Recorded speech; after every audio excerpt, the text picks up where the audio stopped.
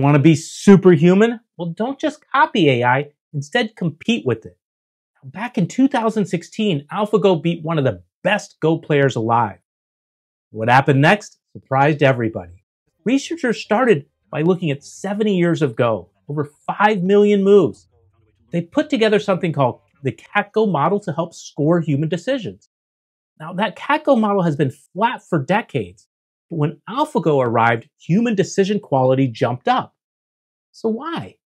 Well, that's because players didn't just copy AI moves, they started making new, novel ones.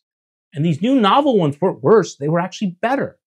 And these better ones were linked to higher, better decisions. And this just isn't Go. In a recent clinical study, doctors that used GPT-4 Assistant were able to get much better performance than doctors that didn't use GPT-4. The takeaway? Don't use AI as a crutch. Use it as a catalyst. Use it as a way to challenge your thinking to help explore new ideas. We see this in Go with new novel, high quality strategies. We see this in medicine between collaborating between the AI and the human.